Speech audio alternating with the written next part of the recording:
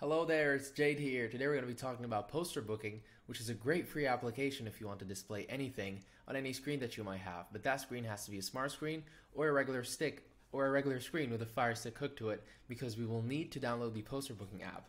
For today's sake of demonstration, I'll be using my Android tablet as a screen. I'll be using PosterBooking to display health tips in hospitals. So if you have a hospital and you want to display health tips, you'll have to go out and buy posters, which is very unpractical. So this is why we'll be using our free digital signage application, PosterBooking. So first off, we'll need to go to Add Screen. Hit Add Screen, and we open the app for the first time, there's going to be a code. We're going to take that code, enter it here, give our screen a name, and hit Add Screen. I already have my screen connected, so there's no need for me to go over this step. Next, we're going to go to Content, Image slash Videos, hit Upload, I have a little picture here for demonstration, little health tips. We're going to wait on it to upload, and once it's done, we'll then go to Playlist, create a playlist. Let's call it Tips. Hit Add Playlist.